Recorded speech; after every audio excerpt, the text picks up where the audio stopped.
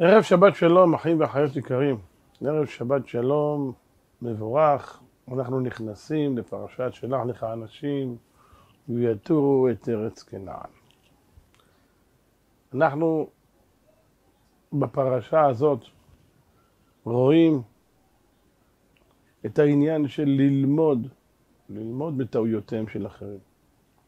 הרי רש"י מתחיל במקום למה נסמכה פרשת שלח לפרשת מרים.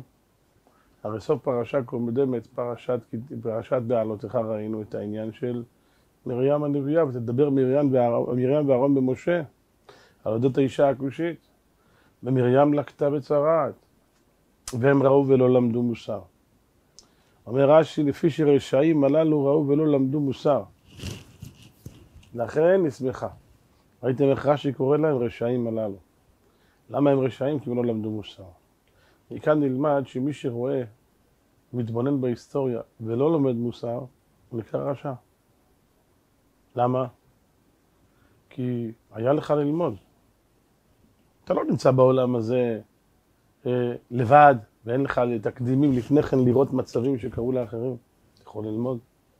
אז למה אתה נשאר אותו דבר? למה אתה לא רואה שהדרך הזאת היא לא טובה, הדרך הזאת היא מקולקלת? הדרך הזאת היא הרת אסון? אתם יודעים שהרוצח הראשון בעולם היה קין.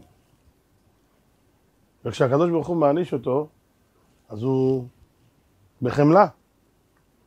הוא לא הרג אותו, הוא נתן לו נע ונה תהיה בארץ. למה השם מקל בעונשו? מי שהורג צריך למות. אתם יודעים למה? כי קין לא היה לו ממי ללמוד, הוא היה הרוצח הראשון בעולם. מי שאין לו ממי ללמוד, אז אין עליו הרבה טענות. אותו דבר, תראו דור הפלגה, תראו, דור המבול, מה היה איתם? איזה עונש קיבלו? אחרי 120 שנה המתינו להם. אבל תראו את סדום ועמורה, מיד, השם מפרק אותם, למה? תן להם גם 120 שנה. לא. לדור המבול לא היה ממי ללמוד, הם היו ראשונים שעשו את השטות הזאת. אבל סדום כבר יכלו ללמוד בדור המבול, למה למדתם? אז העונש הוא מהיר. לכן רבותיי, כל אחד מאיתנו צריך לדעת, כל אחד ואחת. ללמוד מההיסטוריה. היסטוריה זה לא ללמוד את זה בשביל ללמוד, וואי איזה יופי. זה כדי ללמוד ממנה, להפיק ממנה את הלקחים.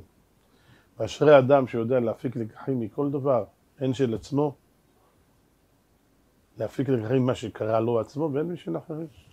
חכם לומד מטעויותיהם של אחרים, והטיפש אפילו מטעויות של עצמו לא לומד.